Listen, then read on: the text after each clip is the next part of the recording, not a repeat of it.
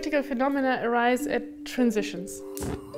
The idea is that when a system's just at this edge of order and disorder, interesting complex dynamics can arise. As a physicist, critical phenomena is extremely appealing because it appears in many phenomena, from the evolution of the universe to the properties of superconductors. Flocks of starlings, networks of brain cells, tectonic plates, social interactions among humans, all these types of things. Anytime I can see one equation apply to lots and lots of different things, I think that's beautiful. It's economical, it's insightful, which raises a really profound question, which is why? Why are so many things in nature operating near the critical point? When physical systems go through phase transitions, such as when water transitions from a liquid into a vapor because of a change in temperature, the system moves through what's known as the critical point, a fleeting moment of transition from one phase to another, characterized by exotic emergent properties that have long intrigued scientists. Critical systems have this property of changing phase, and that small changes in some critical environmental variable leads to drastic changes, almost discontinuous changes in the function. And it's that kind of observation that leads us to believe that the study of critical transitions is valuable. Critical dynamics are best demonstrated in a simplified system known as the Ising model, which visualizes the individual iron atoms making up a magnet, with arrows to indicate the direction of each atom's spin. You can imagine a lattice, and on this lattice, you've got all these little spins that can point either up or down. And when this lattice is really cold, what will happen is all the spins will line up together. So nearest neighbor interactions will cause them all to point in the same direction. And if this is a piece of iron, uh, you know, bing, it would stick on your refrigerator because all the, the bar magnets sum in the same direction. But now if you heat this up, if you took a little Bic lighter and you put it under it, what would happen is these little spins would start moving and they'd start going in different directions and then they would eventually cancel. Some of them would point up and half of them would point down and then it would fall off of your refrigerator. So you get a phase transition from it being very ordered to being totally disordered. As it passes from order to disorder, the system moves through the critical point and clusters of similarly oriented spins form throughout the lattice. If you were to measure the sizes of these clusters at various scales, the data would reveal what's known as a power law, where dynamics at one scale mirror the dynamics at other scales. This phenomenon is also known as scale invariance. Scale invariance is another way of saying that there is self-similarity or fractality, if you want. These kind of properties are spectacular because indeed it's like everything simplifies at the critical point. When a system reaches the critical point, it displays a telltale peak in what's known as the correlation length, an indication of how sensitive the system as a whole is to the activity of any one of its components. What happens is the system behaves in ways that allow fluctuations to occur over the scale of the entire system. If it was too cold, you'd have no correlation because they're just pointing, they're not moving. And when it's too hot, they're moving a lot, but they're not correlated. So only at that sweet spot, right in the middle, do you have interactions at all scales. Now what that means is something very weird. That means that the distance over which these spins might interact is technically infinite. I could take a spin over here and flip it, and there's some non-zero probability that another spin very, very far away would flip also as a result of it. In 1987, the physicist Per Bak wondered if many different types of complex systems in the natural world might self organize around critical points. To illustrate his theory of self organized criticality, Bak used the familiar example of a sandpile. As the pile gains mass, friction can no longer hold the grains of sand in place, and a single grain added to the pile will trigger an outsized effect sending avalanches cascading down its sides. And it turns out that if you look at the distribution of avalanche sizes, the big ones, the small ones, the intermediate ones, they follow power laws.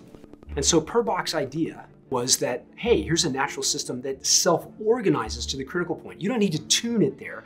You don't need to get just the right control temperature. It will evolve into that state. And so when he came out with this concept of self-organized criticality, he was claiming that many natural systems fall into that category, like earthquakes, like stock market crashes, like piles of sand. Now, he was a pioneer, and it was amazing that he did that. Uh, and it inspired many people from other areas to enter into the field of criticality and to take a look at this concept and apply it more generally. And, and I would say basically it's had huge amounts of traction. However, there have been people who have been quite skeptical. Bak's equations only account for one grain of sand hitting the pile at a time. In nature, things are more complicated, and researchers have found it difficult to simulate criticality. And this is a general problem of mathematical models, just to be always aware of, which is at what point have you overextended that simple abstraction and applied it in a way that's inadmissible? And so SOC is just one mechanism for tuning to critical points. It's a very interesting one, but perhaps it will turn out to be a rare one. Despite the criticism, Bak's work inspired interest in criticality throughout the 1990s and into the early 2000s, when neuroscientists began to probe a new question whether brains might exhibit self organized criticality. Per Bak's work opened up the concept that criticality could apply to many different things. And that made me think, oh, we've got lots of neurons that are interacting in this network. So, hey, why not? So we just started to apply that framework to the data. The idea that the brain is at a transition point, for example, at criticality, at the transition between order and chaos, and that had been around for a while. I think the real avalanche of criticality research was triggered by John Beggs and Dietmar Plenz in 2003. We isolated, in this case, the gray matter, the cortex, as a piece of tissue when it was young. We grew it on a microelectrode array in a dish. We let it grow for about four weeks, and we measured the activity how these cells would interact with each other. And we, we found that they start to form groups like just these cascades that were predicted by the Per-Bak's sandpile model.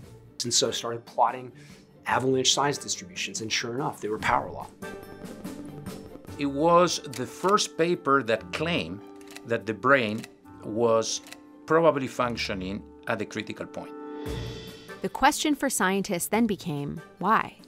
Why might functioning at a critical point be helpful for brains? Can you show that operating near the critical point actually increases behavioral performance? And when you're not near the critical point, it doesn't.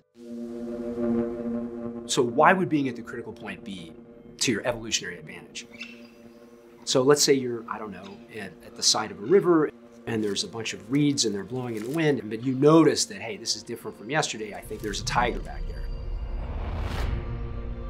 So you want to be very sensitive to inputs. The system is most susceptible to slight changes in inputs when it's near the critical point. It has these large fluctuations that can take off. According to the critical brain hypothesis, when the network is right at criticality, it's perfectly balanced between two extreme states. Supercriticality, in which networks of neurons display the highly ordered runaway excitation seen in epilepsy, and subcriticality, in which signals fail to trigger larger cascades and stall out, as seen in comatose states. By hovering near the critical point, the theory goes, networks of neurons would be optimized for information transmission.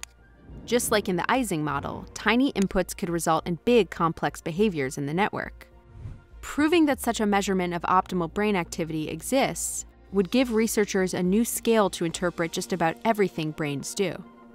When we first got our results back from the 2003 paper, uh, I was just enamored with the idea of criticality. I was in love with it. I'd go to bed thinking, oh, it's optimal information transmission. We got the just the right exponents. It's all cool. And uh, then over time, people started to question this in various ways.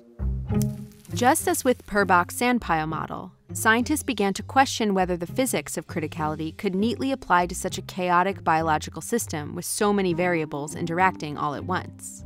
In simpler systems like the Ising model, a single variable like temperature can be adjusted to bring the network right to the critical point. But in complex biological systems, the prospect of tuning to the exact point of criticality would be much more difficult. The brain is constantly receiving inputs from outside that could, you know, blow it off of the critical point. So for those reasons alone, it can't really be exactly critical. Then what is it? One of the options of, of many on the menu about how the brain is actually operating is that it's slightly subcritical. that it doesn't really get to the critical point because that might be dangerous. Another plausible idea is that it's quasi-critical.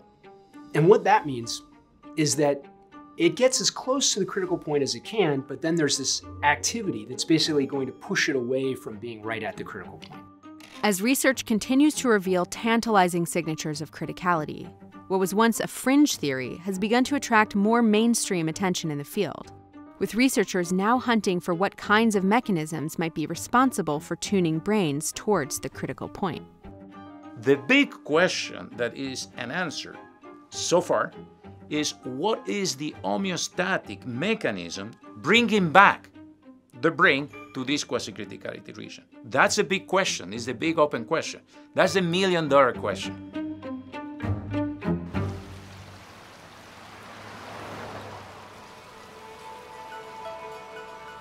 Neuroscience has been and continues to be very hesitant and reluctant to agree on a theoretical idea of the kind that criticality offers.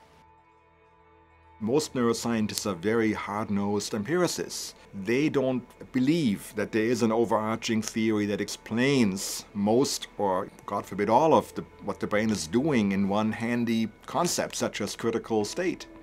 I personally um, think that what, what does not play well with neuroscientists is if criticality is portrayed as the answer to everything. And I think that, that is overselling it.